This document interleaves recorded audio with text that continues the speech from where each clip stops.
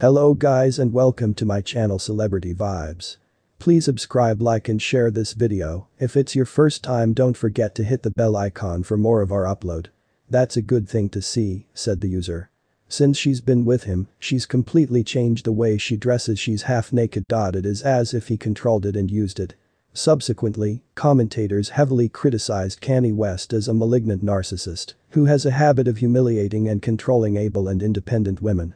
Others said the relationship wasn't healthy and expressed how badly they felt for Censori and West's children because the rapper wasn't mentally stable.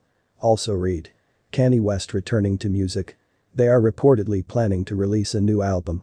On the other hand, some commentators said not to worry about Censori because she is an intelligent and educated woman. Thank you guys for watching this video up to the very last end. What are your thoughts about this video? Please share them with me on the comments